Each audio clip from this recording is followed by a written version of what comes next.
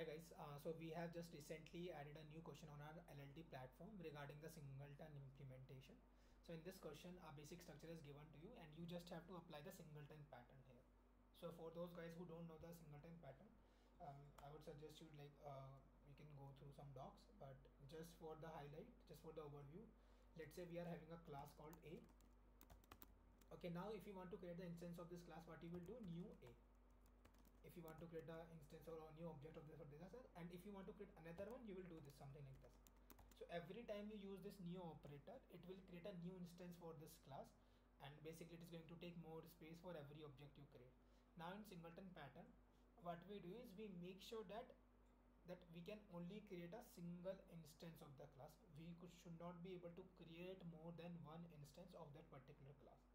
Okay?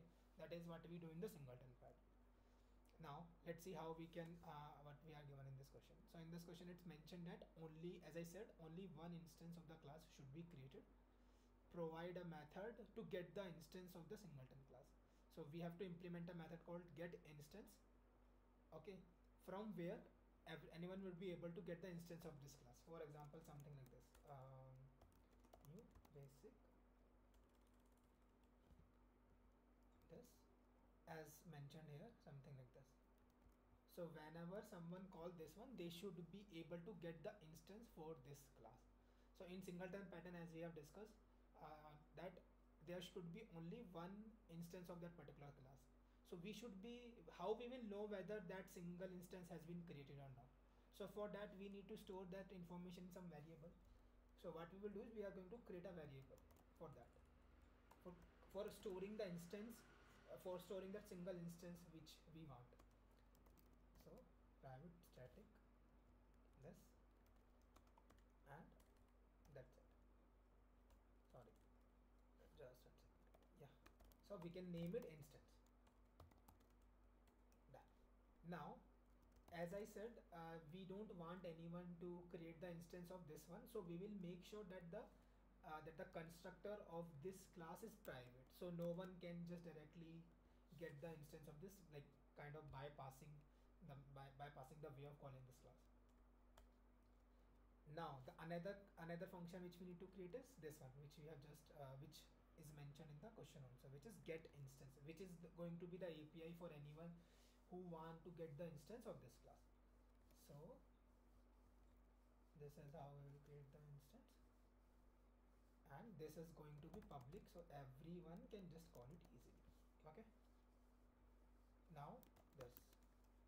As so now we were using this variable to hold the instance of this class so what we will do? If instance is not is null that means no one has uh, created any instance for this yet so we will create that. Instance equivalent to new. And if it is already created and then we don't need to do it and we will just return the instance for our of our class basically whatever we have done. Okay? So what we did is we defined this private uh, variable. This is static. Okay? Uh, I would say if you guys don't know what the use cases of the static I would suggest you to highly go through this one because this is very important to understand the singleton pattern. Then we have created a constructor the private constructor and again we have another created another public static method which anyone can call to get the instance of this class uh, but making sure that we are not creating more than one instance basically. So let's see. So as you can see all the test cases got passed. Now there is one more thing. There are two types of singleton basic singleton pattern which you can do here. One is lazy lazy initialization. And other one is simple one basically. Okay or you can say uh, leave whatever. Some nuggets okay? Now as the name says what is lazy? I mean you will only create the instance of the class when you really need it which is what we did here. So this is what you can say is a lazy instantiation way of implementing the singleton pattern singleton method or pattern whatever you want to say it. Now there is another way to do the same thing. Okay what we can just do is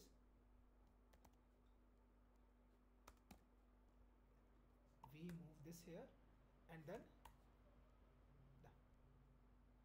now you can see this is also going to work. So both have some their own pros and cons.